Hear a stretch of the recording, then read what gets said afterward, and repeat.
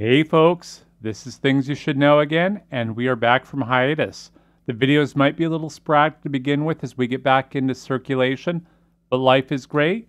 The videos are coming, and I really want to thank you for staying along with us. Next Sunday, we should be having a Things You Should Know Civil War edition, and maybe even a Great War the following Wednesday. But I look forward to having the videos out. Thank you once again for your patience.